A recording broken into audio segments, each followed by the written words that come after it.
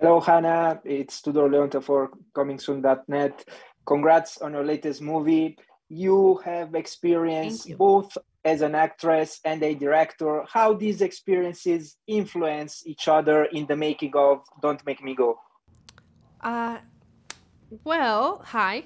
Hello. Um, they inform each other a lot. Uh, I found that being an actor has made me a better director. Just have a lot of respect for the process um, and want to be as supportive as possible to uh, to the actors on the project. But being a director has also made me a better actor, I think, because I, I really understand now what goes on behind the scenes and how important it is to be open-minded and collaborative. So um, I'm, I'm glad that both uh, both careers can feed each other your movie take us into the secret world of teenagers.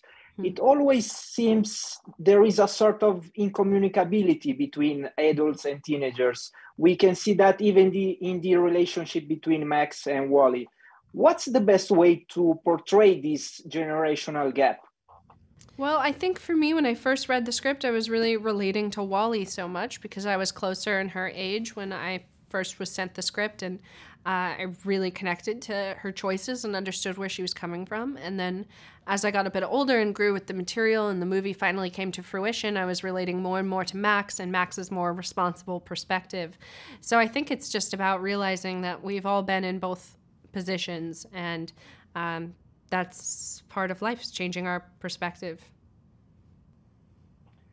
The story follows a single father dealing with a brain tumor how did you find the balance between being forced to live with a fatal condition and the need to leave a message of hope?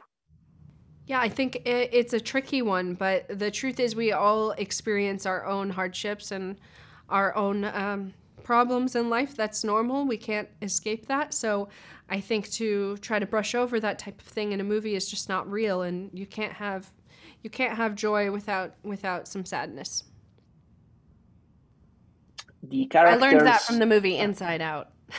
Oh, that's a great answer. Yes. the characters who live for a journey are never the same ones when they return home. The journey forces them to face their fears and, in doing so, to mature. In your opinion, what's the most crucial moment in Max and Wally's journey? Oh, probably. I mean, I know this is a spoiler, but probably when Wally crashes the car. It's like everything comes to a head in that moment. All of this unspoken tension between them has finally been spoken, and now they get to really be honest with each other, and that's really catapulted by this this accident that they get in. It's like there's nothing to lose anymore. Yeah, thank you for your answers, and of course, it re- also relates, you know, uh, with the incommunicability between the two protagonists, at least at the beginning. Hmm. Well, yeah, thank you for thank you for watching and taking the time. Have a nice one.